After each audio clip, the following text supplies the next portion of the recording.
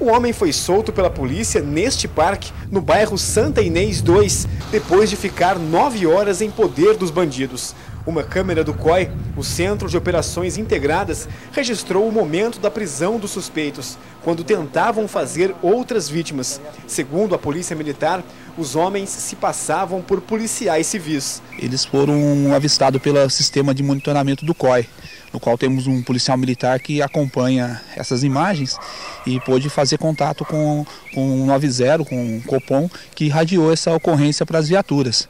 Diante disso, as viaturas foram para o local e localizaram esses, esses indivíduos que estariam abordando três outros indivíduos no, no, no local feito contato com eles, eles se identificaram no primeiro momento como policiais, policiais civis.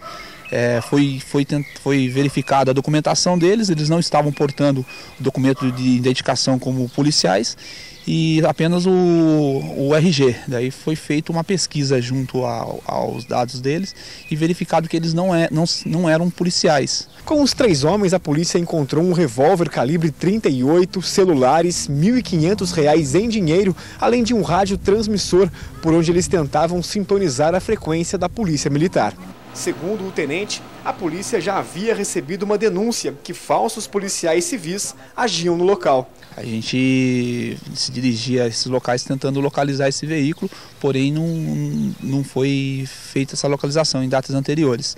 Agora, na data de hoje, na madrugada, a gente logrou êxito aí em estar tá detendo esses indivíduos e constatando que não se tratam de policiais militares ou policiais civis, que são marginais aí que se aproveitam de uma situação para conseguir o, intuito dele de, da prática do, do crime.